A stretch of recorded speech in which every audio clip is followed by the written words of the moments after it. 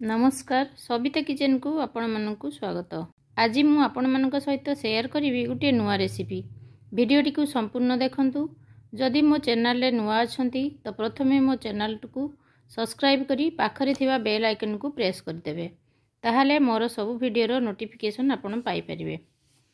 ପ୍ରଥମେ ମୁଁ ଏଠାରେ ଗୋଟିଏ ପାତ୍ରରେ ତିନିଶହ ଗ୍ରାମର କଖାରୁକୁ ଏପରି କାଟି ରଖିଛି। ତା ସହିତ ଗୋଟିଏ ଆଳୁ ଅଳ୍ପ ବନ୍ଧାକୋବି ଓ ଶହେ ଗ୍ରାମର ପୋଇକୁ କାଟି ରଖିଛି। ଅନ୍ୟ ଏକ ବାଉଲରେ ଦୁଇଶହ ଗ୍ରାମର ଖାସି ଚର୍ବି ବା ଯାହାକୁ କୁହାଯାଏ ମଟନର ଫ୍ୟାଟ୍ ରଖିଛି। ସେଥିରେ ଏକ ଚାମଚ ହଳଦୀ ଗୁଣ୍ଡ ଦେଲି ସ୍ୱାଦ ଅନୁସାରେ ଲୁଣ ଦେଇ ଭଲ ଭାବରେ ଗୋଳେଇ ନେଲି। ବର୍ତ୍ତମାନ ଗ୍ୟାସ୍ରେ ଗୋଟିଏ କରେଇ ବସାଇ ଦେଲି। ସେଥିରେ ସୋରିଷ ତେଲ ଦେଲି। ତେଲ ଭଲ ଭାବରେ ଗରମ ହେବା ପରେ ଅଧା ଚାମଚ ଚିନି ଦେଲି।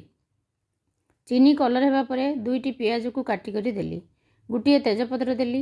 ପିଆଜକୁ ହାଇ ଫ୍ଲେମ୍ରେ ଫ୍ରାଏ କଲି।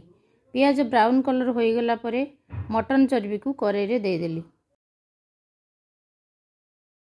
ପାଞ୍ଚ ମିନିଟ୍ ପରେ ଗୋଟିଏ ଚାମଚ ଅଦା ରସୁଣ ପେଷ୍ଟ ଦେଲି। ଅଦା ରସୁଣ ପେଷ୍ଟକୁ ଭଲ ଭାବରେ ଫ୍ରାଏ କଲି।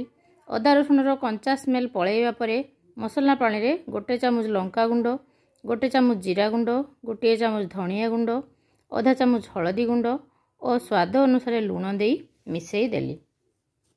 ଏବେ ମସଲା ପାଣିକୁ କରେଇରେ ଦେଇଦେଲି।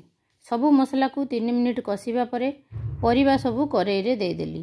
ପରିବା ସବୁ ମସଲା ସହିତ ମିଶାଇ ନେଲି ତା ଉପରେ କଭର୍ କରିନେଲି। ଏହି ସମୟରେ ଆମେ ଗ୍ୟାସ୍ର ଫ୍ଲେମ୍କୁ ଲ'ରେ ରଖିବା। ଏହିପରି ଯେତେବେଳେ ସବୁ ପରିବା ଭଲ ଭାବରେ ସିଝିଗଲା ଅନ୍ୟ ଏକ କରେଇରେ ଗୋଟିଏ ଚାମଚ ସୋରିଷ ତେଲ ଦେଲି। ତେଲ ଭଲ ଭାବରେ ଗରମ ହେବା ପରେ ଦୁଇଟି ଶୁଖିଲା ଲଙ୍କା ଦେଲି। ଲଙ୍କା ଭାଜିଗଲା ପରେ ପାଞ୍ଚ ଫୁଟଣ ଗୋଟିଏ ଚାମଚ ଦେଇ ଘାଣ୍ଟକୁ ଛୁଙ୍କି ଦେଲି ଦେଖନ୍ତୁ ଏବେ ମୋର ଖାସି ଚର୍ବି ଘାଣ୍ଟ ପ୍ରସ୍ତୁତ ହୋଇଗଲା। ଆଜିର ଭିଡ଼ିଓଟି ଆପଣମାନଙ୍କୁ ପସନ୍ଦ ଆସୁଛି ତ ଲାଇକ୍ ଗୋଟିଏ ନିଶ୍ଚୟ କରନ୍ତୁ। ଆପଣମାନେ ମଧ୍ୟ ଏହିପରି ତିଆରି କରନ୍ତୁ ଗରମ ଗରମ ଭାତ ସହିତ ଖାଆନ୍ତୁ ଏବଂ ସମସ୍ତଙ୍କୁ ସର୍ଭ କରନ୍ତୁ। କେମିତି ଲାଗିଲା କମେଣ୍ଟ କରି ଜଣାନ୍ତୁ।